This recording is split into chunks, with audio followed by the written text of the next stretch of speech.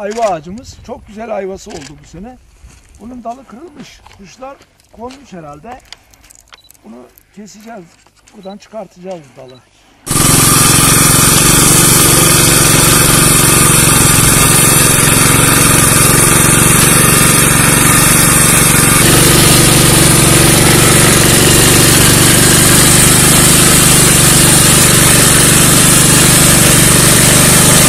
Emekli olduktan sonra burada bahçe yapmaya karar verdim. Ee, çok önceden bu bölgede Rumlar oturmuşlar e, bizim köyümüzde ve e, bölgenin ağaçlık olduğunu e, söylentisi vardı. Ağaç yetişeceğini düşündüm. E, işte 5-6 sene önce burayı ağaçlandırdık.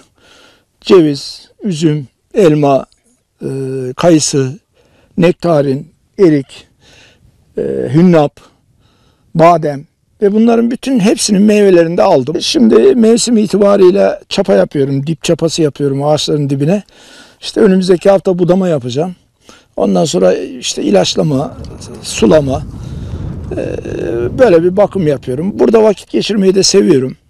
Yani burada çalışmayı seviyorum. Burası e, sağlığıma da çok iyi geliyor.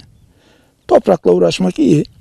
Burası 15 dekar. Buraya geldiğimde e, işe öyle bir kaptırıyorsun ki hani dünyadan kopuyorsun yani E, böyle e, ne bileyim bu ağaçlarla uğraşıyorsun. Ben bu ağaçların hepsinin hikayesini tek tek biliyorum. Yani hepsini tek tek tanıyorum yani. Hepsinin gelişme sürecini hepsiyle ayrı ayrı ilgilendim. Valla burada işte mümkün olduğu kadar e, fenli yöntemler kullanmaya çalışıyorum. Damlama sulama sistemi var.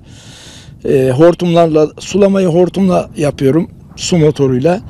E, çapa makinesiyle çapalıyorum. E, traktörlerden yardım alıyorum. Ara çapasını yaptırıyorum. İlacını kendim yapıyorum. Yani bu bahçeyle tek başıma ilgileniyorum. Yani hiç kimseden yardım almadım şimdiye kadar. E, hiçbir destek de almadım. Tek başıma hallettim yani.